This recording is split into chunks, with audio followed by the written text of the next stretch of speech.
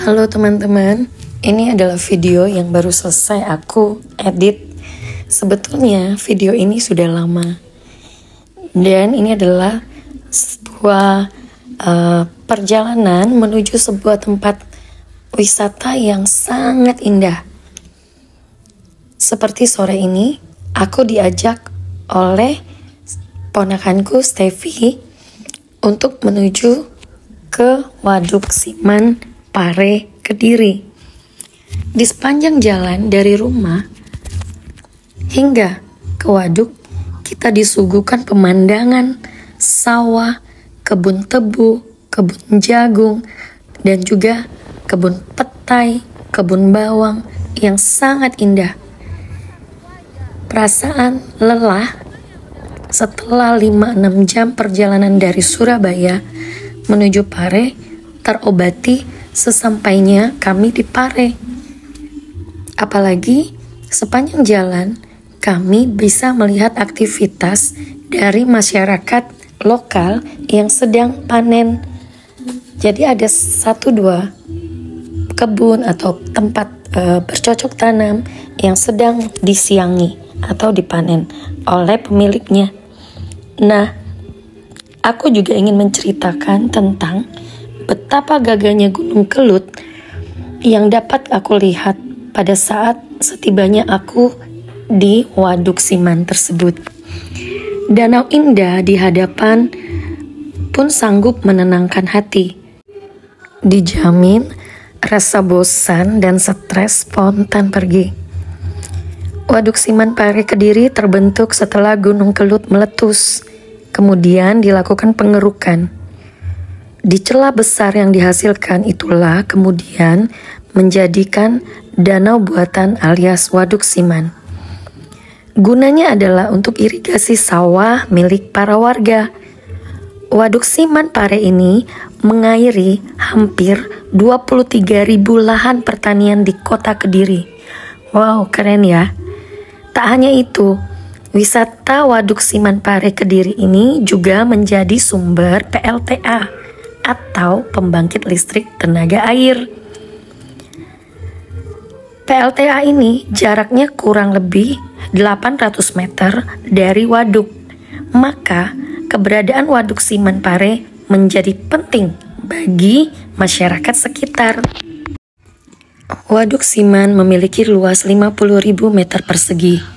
Bila hendak mengunjunginya, bisa datang ke Desa Siman, Kecamatan Kepung, Jawa Timur Jaraknya sekitar 35 km dari pusat Kabupaten Kediri. Jangan khawatir boncos. Menikmati keindahan Waduk Siman Kediri tidak menuntut biaya alias gratis. Tak perlu mengeluarkan biaya sepeser pun untuk memasuki area wisata. Kecuali kalau kamu datang uh, tidak membawa kendaraan sendiri ya kamu hanya akan mengeluarkan uang untuk ojol. Ternyata bila berada di Waduk Siman Pare Kediri, kawan Jo tak hanya bisa duduk-duduk santai. Bila ingin pengalaman lebih, ada beberapa aktivitas menarik yang bisa dilakukan di sini. Berolahraga, memancing, kulineran, menikmati pemandangan sunset sunrise. Pokoknya keren banget. Di sebelah timur Waduk Siman terdapat barisan bukit, sedangkan untuk di sebelah barat terdapat persawahan dan perumahan.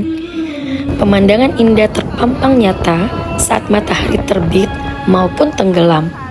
Menikmati fenomena alam sunrise dan sunset di Waduk Siman Pare Kediri sangatlah mengesankan.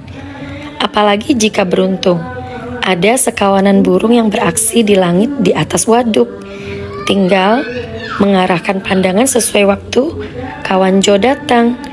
Di mana matahari sedang muncul saat pagi di sebelah timur, atau ke arah perbukitan di sebelah barat ketika senja datang. Kala matahari akan pulang. Tak lupa siapkan dokumentasi untuk menghasilkan foto kece saat wisata Waduk Paresiman ya. Sekali lagi, keindahan dan kesejukan sekitar waduk membuat nyaman untuk beraktivitas Kemudian di pinggir waduk itu terdapat banyak sekali uh, sebutannya kalau di Jawa Timur itu adalah bukan warkop ya tapi sebutannya adalah depot. Jadi banyak depot-depot yang menjual jajanan dengan harga yang murah.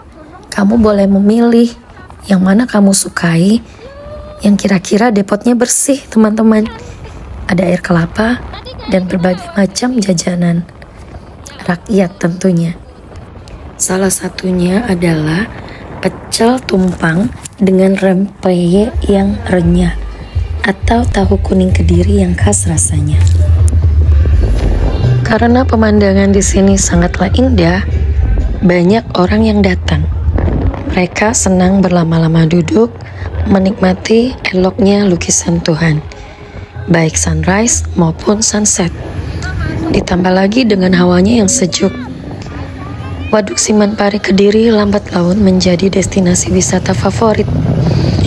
Dan di sini orang juga dapat berolahraga, bersepeda, memancing, dan juga kulineran. Di daerah ini terdapat juga uh, upacara malasti. Umat Hindu di Kediri selalu melakukan upacara malasti di Waduk Siman.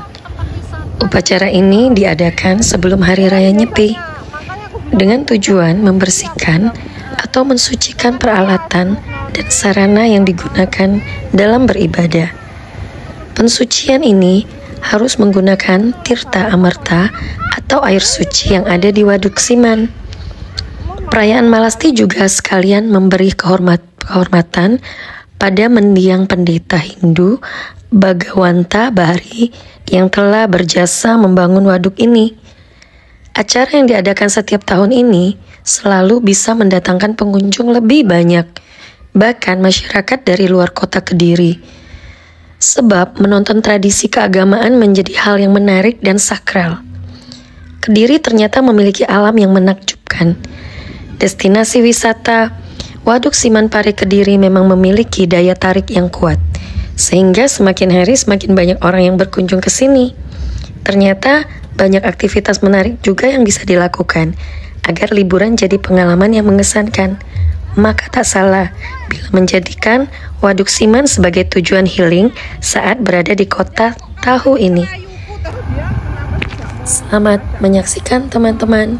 Semoga video kali ini bisa memanjakan mata teman-teman dan juga bisa memberikan satu pengetahuan baru tentang indahnya Indonesia. Ya, selalu bangga dengan Indonesia. Sebelum kamu pergi keluar, selalu lihatlah betapa indahnya Indonesia, negeri kita tercinta. Jangan lupa di like, comment, share, and subscribe. Dan doakan aku supaya seraku segera sembuh ya, teman-teman. Sampai jumpa. Bye.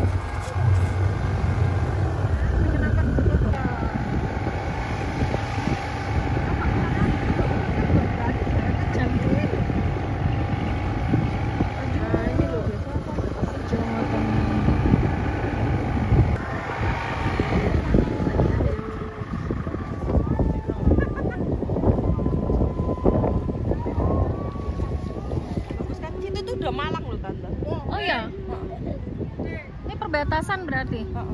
Ini harusnya lewat pasar itu merah lah. Jadi aku udah Malang. Sana.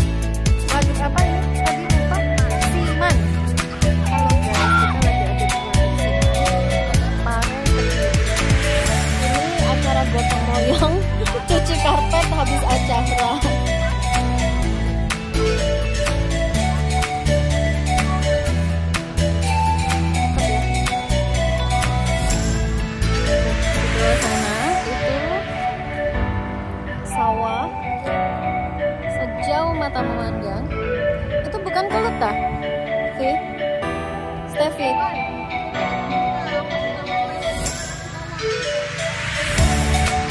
SpongeBob. Patrick.